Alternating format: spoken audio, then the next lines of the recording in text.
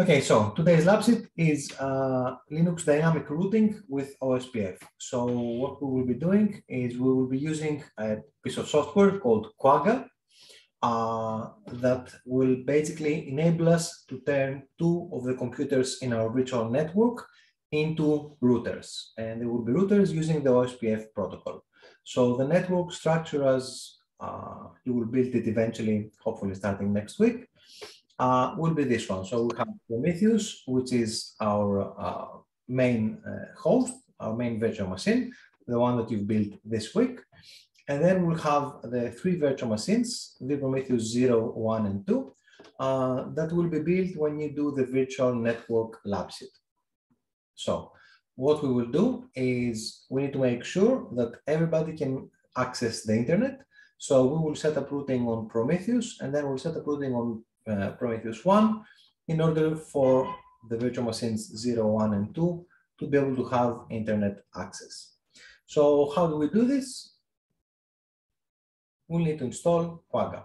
So Quagga is the program that does everything. Uh, you know, the Linux geek that invented it had a thing for animals. So the program is called Quagga and it used to be called Zebra in the past. So the configuration files are still called zebra.conf, for example. Okay, and what we'll do is everything that will happen in the lab will need to happen uh, in turns. So we need to do, we will need to set up absolutely everything on Prometheus first. And once everything is working there, we will then need to repeat the process again for V Prometheus 1. Obviously, because until you get routing going on Prometheus, V Prometheus 1 will not have internet access. So you will not be able to run yum install quagga on here unless everything is working correctly here. So how do we do this? The first command that you need to do, uh, that you need to type is yum install quagga. This will simply go online and fetch all of the uh, components that are needed for the software to work. And then once you do that, you will need to go to Moodle and download the contents of the folder called routing tools.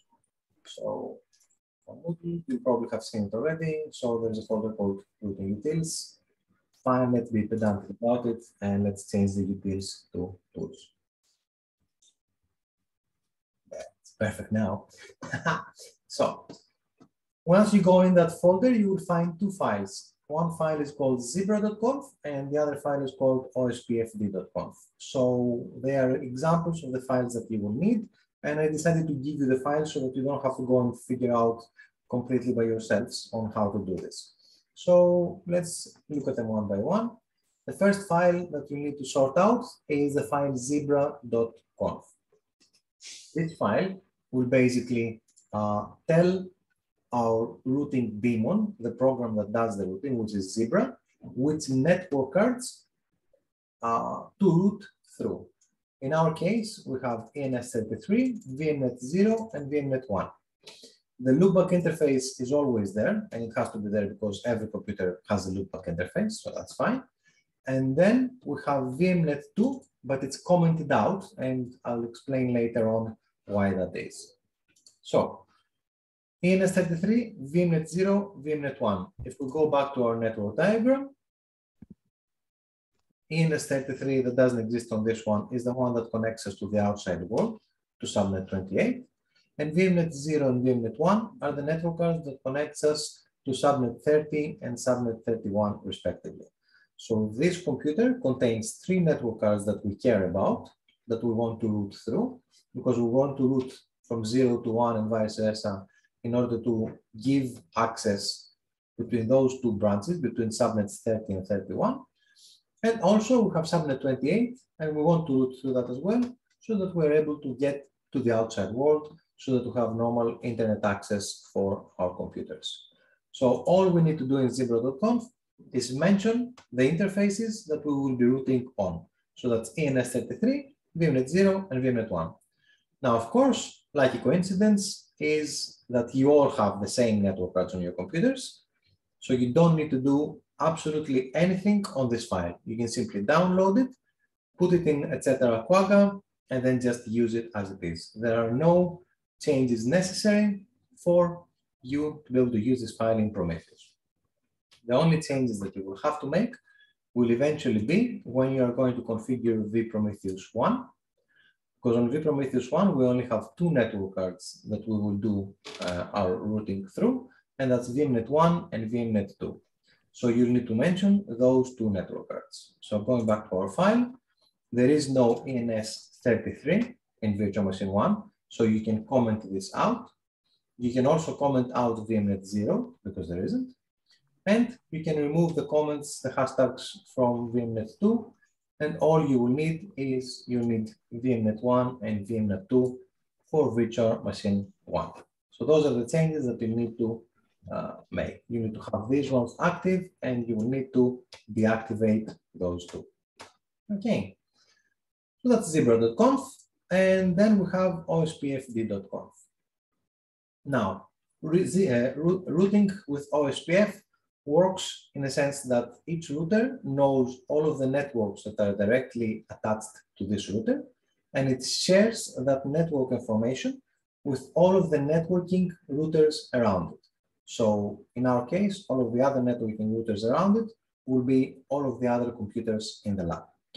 So what we do is we need to simply mention all of the networks, and by networks I mean network addresses, that all of our computers uh, contain.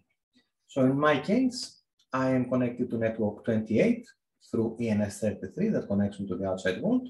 And this line will be identical for everybody.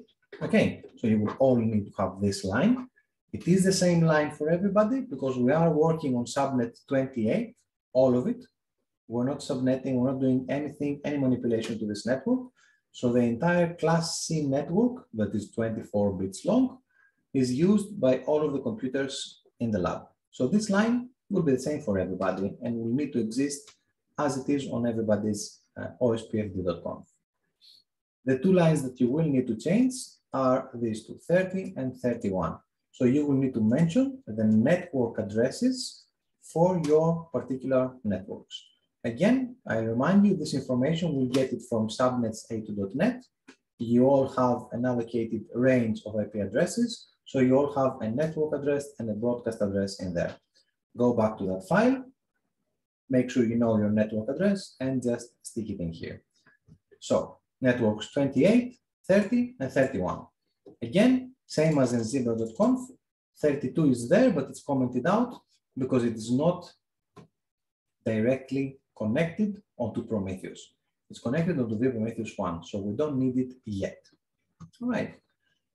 Last but not least, you need to tell all the other routers around you who you are. So there's a router ID, and this will be your IP address for your router. So this will be the IP address for ENS33 of your Prometheus virtual machine. Okay, so my Prometheus is 28.111. I mean, my computer's address is 2811. So my virtual machine has that plus 100 on a bridge network. This is the convention we use. So I need to tell everybody that I am 28.111. Later on, when you go on to V Prometheus 1, you will need to make some alterations to this file. So you will be here and you will only be connected to networks 31 and 32. This means that you need to go to your configuration file. You can comment out or completely delete 28 and 30. You don't need these lines at all. You leave 31 as it is because it's still there and you uncomment your network 32 and put the correct network address here uh, as it should have. So for virtual machine one, you need to have networks 31 and 32. Also, of course, you need to change your router ID. And now it will be the IP address of VMnet 1. So it will be 148.197.31, definitely, dot whatever IP address you have given to your VMnet 1 network card on the Prometheus 1. So these are the changes that you will need to make. The router ID needs to correspond to the computer, and the network addresses need to correspond to your range of networks for the specific networks that are directly connected onto the router that you are configuring. Once you have that in place, you configure those two files, Zebra and OSPF. You save them in etc. Quagga. They need to be in there. If they're not there, then obviously they will not work. Okay. The next thing you need to do is you need to kill a bridge. So VMware itself on its own will create a bridge for VMnet 0 because by default in networking in VMware, VMnet 0 is used for bridging. So there is a bridge already here. So you might actually already either have internet access from vPrometheus 0 or simply be able to ping from 0 to 1 without doing the routing experiment. You can give it a try if you like, out of curiosity, but because the bridge is there, as well as the custom connection that we've made, we need to kill that bridge so that it doesn't interfere. So we need to get a listing of the processes that are running in our system that contain the word VMnet into them. So we list the processes that contain VMnet. And then out of that, we will find that the first process available is the VMnet zero bridge. So you will need to get the process ID for that. So that will be the four, the, the four or five digit number in the beginning of this line. And then you kill minus nine and then the process ID that will stop the bridge from running. And then you can safely test your system and see if your routing actually works or not. You will need to disable your firewall using IP tables minus capital F. And you need to do this every time you restart your network or every time you restart your computer. And then finally, you need to enable packet forwarding by using the packet forwarding command. Good thing is you only need to do this command once. You don't need to type it ever again because that enables packet forwarding on Linux permanently. And the reason why packet forwarding in Linux is by default disabled is, of course, because it's Linux security. So if all else breaks, someone that doesn't really know what they're doing, they might not be able to go through a different network on a computer because packet forwarding is simply disabled. All right. So with those out of the way, we are ready to test our routing on Prometheus. There's a very specific way that I want you to do this. I want you to have four terminal windows or one terminal with four terminal tabs open onto it, uh, running at the same time. The first terminal, I would like you to run zebra minus f, etc. quagga zebra.conf. So this is running the zebra daemon in debug mode, as we call it. So it will run live in the terminal. Once you type this command and press enter, nothing should happen. So the terminal will go blank. You will not have a prompt anymore to write any more commands, and that's it. This is the expected behavior of this. So this means that the, the Zebra daemon is simply running, and it's waiting for the routing protocol. It's not actually doing anything. Second terminal, ospfd minus f, etc. quagga ospfd.conf. Once you run this, you'll see lots of information scrolling down your terminal. And what you will see is actually quite interesting. It's the actual exchange of routes between your newly created router and all other OSPF routers in your vicinity, in your neighborhood. So you'll be able to see your network address is being sent out or advertised, as we call it, to all of the other routers in the lab. And you'll be able to see all other routes being received by your router from the lab. It's worth mentioning here that you will only see information from the lab itself and nowhere else because we are actually both firewalled and NATed behind Columbus. And we do this as a precautionary measure because if you advertise some wrong route somewhere, so if, for example, you subnetted subnet 28 and you put a slash 29 on it or anything like that, then that would break routing past Columbus. So that would cause routing problems, routing loops, uh, wrong default gateways and all that to computers in the rest of the university. Okay, and because we don't want to break anything in the network in the rest of the university, we are well isolated behind Columbus in the lab. So you can do whatever you like as far as routing goes. Uh, nothing can be advertised to the outside world, so we don't need to worry about that. So once you have uh, OSPF running, we then go to the third terminal and type watch route minus n. This will show you a live uh, updating routing table of your computer. And if your routing works correctly, you will see other people's OSPF routes available on the network that are being advertised to you. Then, once you have that going, you can go on to the fourth terminal and you can type all of the other commands that you need, such as ping and everything else in order to test that your routing actually works. I am running out of voice. Give me a second, I need to drink some water.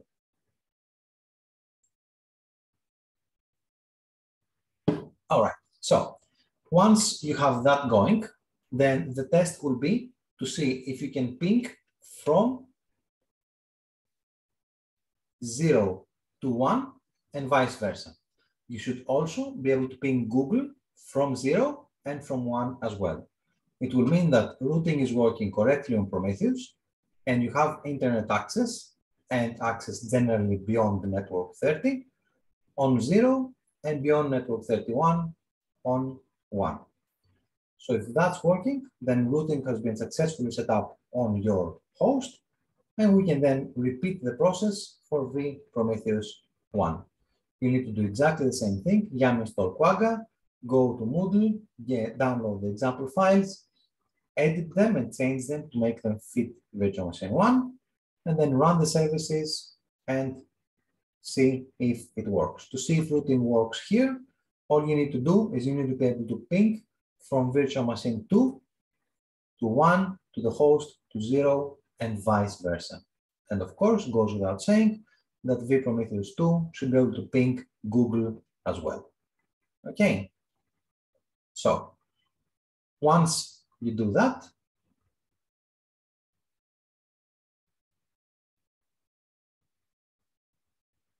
then you have your routing working on the host and on virtual machine one, and you can actually set the services to start as services this time and not run in a terminal. So you can go into your terminals, into those uh, four terminals, and you can stop Zebra and OSPF from running. And you can type systemctl restart Zebra service and OSPF service. So that will start them running as services in the background. You can also set chkconfig Zebra on and OSPF on. So that will make them run every time you start your computer without having to manually start the services every time you come into the lab. Very important note here is that in order for these to run as services, they need to not be running as commands in the terminal. So they must not be running in debug mode. Okay, so make sure you stop the terminals from running and then you start them as services. That's why it's very important that you fully test everything, like get your screenshots for your logbook and everything else, and make sure that absolutely everything works, and only do this as the very, very last thing. Okay, so also, if you do run the service and then you see that routing is not working, and you try to run it in a terminal, it will not. Okay, so it can either be running in a terminal or it can be running as a service, only one of the two. All right. Once you do that, once you set up routing on Prometheus and the Prometheus 1, then you have essentially completed the lab set. If you're progressing fast enough and you have time, you can have a go at the bonus round. The bonus round is to do some NATing, some network address translation. Who can think of a scenario in which you use NATing in your everyday life? So taking a public IP address and turning it into private IP addresses for your network on the inside.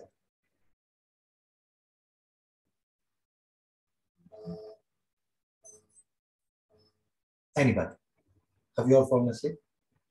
Or nobody knows?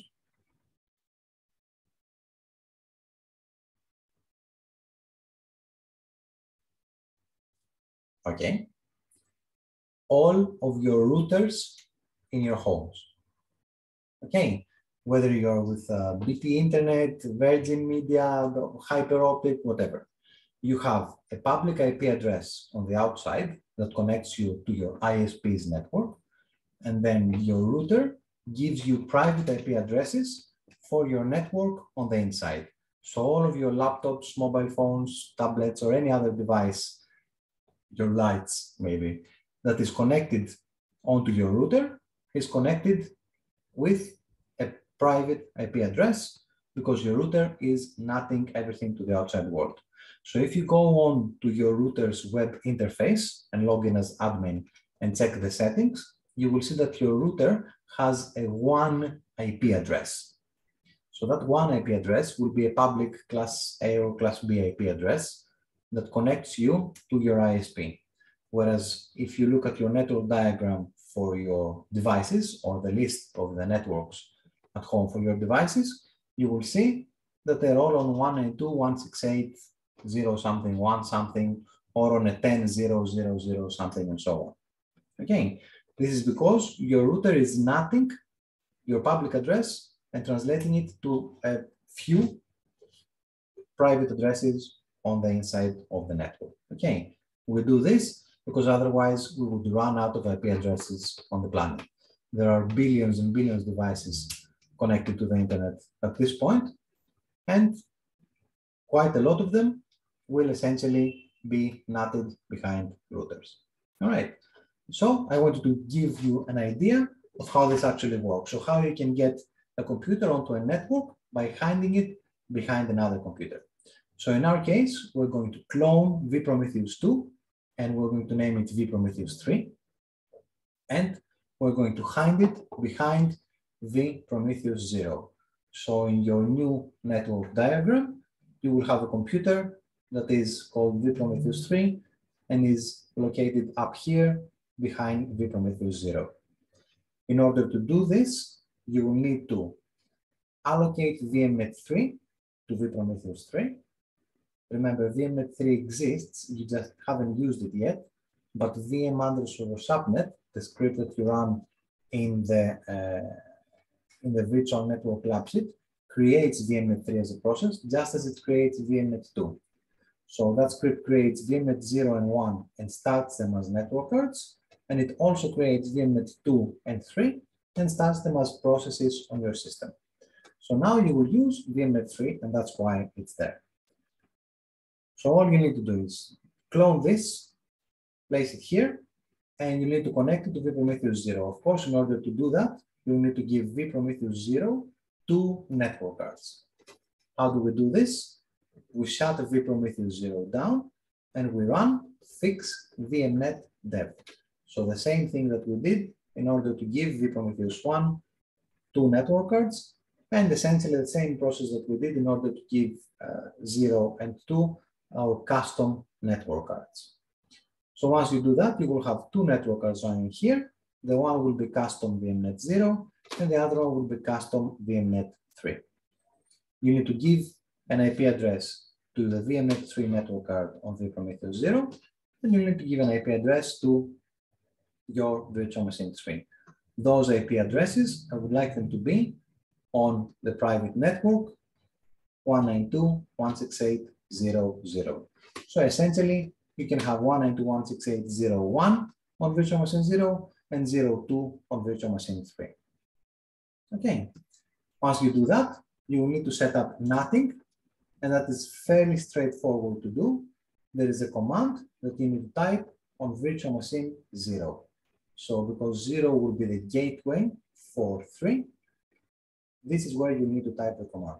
And all you need to do in that command is, zoom this in, is this. It's an IP tables command that enables NATing and does post routing essentially. On the interface, ENS33. So that is this one. Okay, it's VMnet 0 as we're looking at from the outside. It's ENS33 when you're inside the virtual machine. Yes? and minus JSNAT to source the IP address of ENS33. So it will be your 31, your sorry, your 30 dot whatever you have as an IP address here. Once you do that, then you will be able to go to your virtual machine 3 and you will be able to ping everything. You can ping 0, host, 1, 2, and you can ping towards the internet as well. you will not be able to ping virtual, virtual machine 3 from anybody else because nobody else knows where virtual machine 3 is because it's hidden, it's NATed behind the host vPrometheus 0. Okay, and this is the whole point of it as well. So it's also a trick that we use if we want to protect uh, a server that provides a public service or that's in a DMZ zone, and we hide it behind here, and then we try to get the service available to the outside world through some other method. The most usual way to do it is through port forwarding. So we port forward, let's say it's a web server, so we port forward port 80 from virtual machine 3 to the computer that does the NATing to virtual machine 0. And that makes the service accessible to the outside world without making the entire computer accessible to the outside world. Okay. This is the final task for the lab sheet. I think it's the lab sheet four. Okay, so this is the final task for the routing lab sheet. Okay, we are here. Uh, logbook one, you only have one logbook for all of the tasks, for all of the lab sheets. Okay, but lab one is the Linux setup, for example. All right, lab two is the virtual network, and then lab three is this one is routing. Okay.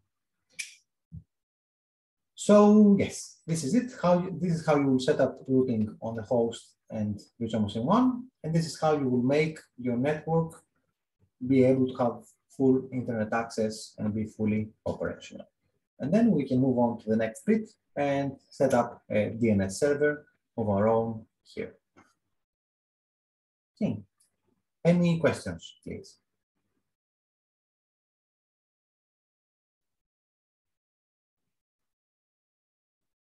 No? I mean, I know I explained stuff very well, but wow. anyway, okay, cool. So if you don't have anything else to ask, um, that's it for today. And I guess I'll see you in the lab next week. Thank you. Bye.